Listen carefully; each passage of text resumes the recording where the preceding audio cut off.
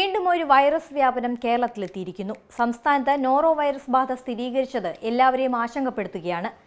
കൃത്യമായ പ്രതിരോധവും ചികിത്സയുമാണ് വൈറസിനെതിരെ വേണ്ടത്. ഉദര സംബന്ധമായ അസുഖമുണ്ടാക്കുന്ന ഒരു കൂട്ടം വൈറസുകളാണ് നോറോ വൈറസുകൾ. അതിവ്യാപന ശേഷിയുള്ള നോറോ വൈറസ് വോമിറ്റിംഗ് ബഗ് എന്നും അറിയപ്പെടുന്നു.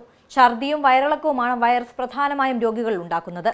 മനംമറിച്ചിൽ വയറുവേദന ശക്തമായ പനി തലവേദന കൈകാൽ വേദന എന്നിവയും മറ്റ് ലക്ഷണങ്ങളാണ്. ചെറിയ കുട്ടികൾ പ്രായമായവർ മറ്റ് അനുബന്ധ രോഗമുള്ളവർ എന്നിവർക്കാണ് ഈ വൈറസ് ഗുരുതരമാകുന്നത്.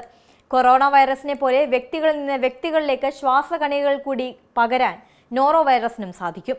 മലിനമായ ജലത്തിലൂടെയും ഭക്ഷണത്തിലൂടെയും രോഗബാധയുള്ള വ്യക്തികളുമായി നേരിട്ടുള്ള സമ്പർക്കത്തിലൂടെയും രോഗം പടരും. രോഗിയിൽ നിന്നും പുറത്തുവരുന്ന വൈറസ് കണികകൾ അന്തരീക്ഷത്തിൽ പരക്കുകയും പ്രതലങ്ങൾ തങ്ങി നിൽക്കുകയും ചെയ്യും. ഇത് സ്പർശിക്കുന്നവരുടെ കൈകളിലേക്ക് പടരും. വൈറസ് ശരീരത്തിൽ പ്രവേശിച്ചാൽ ഒന്നോ രണ്ടോ ദിവസത്തിനുള്ളിൽ ലക്ഷണങ്ങൾ പ്രകടമാകും. വെള്ളം ജ്യൂസ് കരിക്കിൻ വെള്ളം തുടങ്ങി ധാരാളം പാനീയങ്ങൾ കുടിച്ച് ആവശ്യത്തിന് വിശ്രമിച്ചാൽ രണ്ടു മൂന്ന് ദിവസങ്ങൾക്കുള്ളിൽ ലക്ഷണങ്ങൾ കുറയും.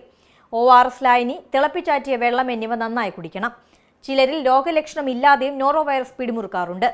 അതിവേഗം ജനിതക വ്യതിയാനം സംഭവിക്കുന്നതിനാൽ പലപ്പോഴും പരിശോധനയിൽ ഇവ തിരിച്ചറിയാനാകില്ല. കൈകൾ ഇടയ്ക്കിടെ വൃത്തിയായി സോപ്പ് ഉപയോഗിച്ച് കഴുകണം. പച്ചക്കറികളും പഴങ്ങളും നന്നായി കഴുകി മാത്രം ഉപയോഗിക്കണം.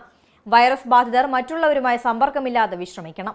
ഇവയെല്ലാം തന്നെയാണ് മുൻകരുതലുകൾ. ഏറ്റവും പുതിയ വാർത്തകളും വിശേഷങ്ങളും അതിവേഗത്തിൽ അറിയാൻ Zee Malayalam news app download ചെയ്യൂ. സന്ദർശിക്കൂ. W W W dot Zee Malayalam news dot com